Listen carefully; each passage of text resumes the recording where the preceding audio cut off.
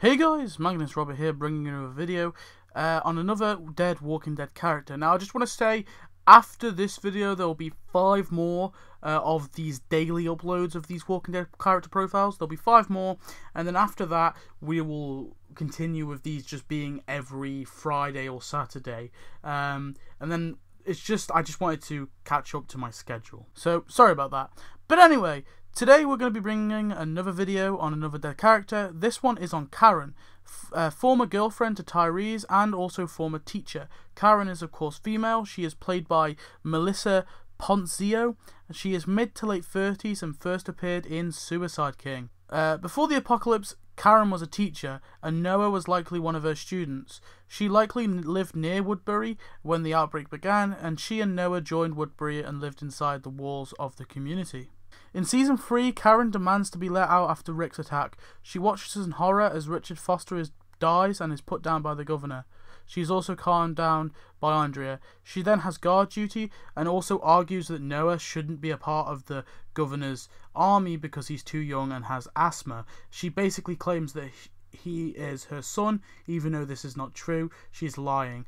She goes on the raid to the prison, but retreats when overwhelmed by walkers and flashbangs.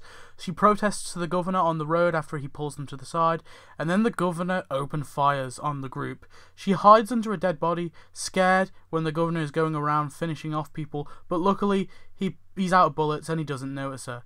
She then hides in a truck and is found by Daryl, Rick, and Michonne. She tells them what happened and then they go back to Woodbury, getting Tyrese to lower his gun. She is then later brought back to the prison with the others to live there.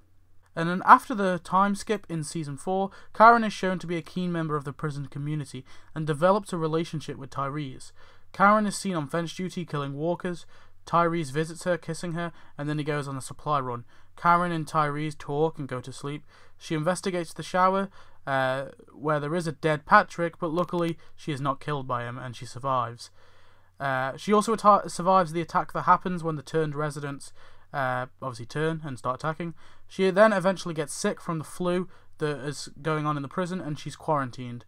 However, Carol, uh, concerned about the well being of the rest of the members, does this.